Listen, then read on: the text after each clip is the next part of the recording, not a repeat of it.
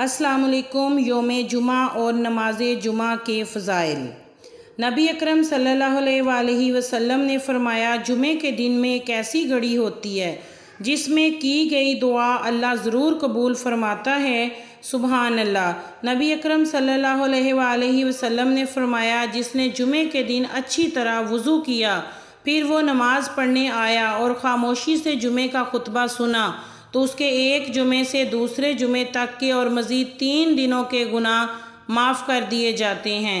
हज़रत मोहम्मद सल्लल्लाहु अलैहि वसल्लम ने फरमाया, जुमे के दिन कसरत से मुझ पर दरूद भेजा करो, क्योंकि तुम्हारा दरूद मुझ पर पेश किया जाता है। हज़रत मोहम्मद सल्लल्लाहु अलैहि ने फरमाया, लोग नमाज़ जुमा छोड़ने से बाज आ जाएँ वरना अल्लाह उनके दिलों पर मोहर लगा देगा और वो गाफिलों में शामिल हो जाएँगे।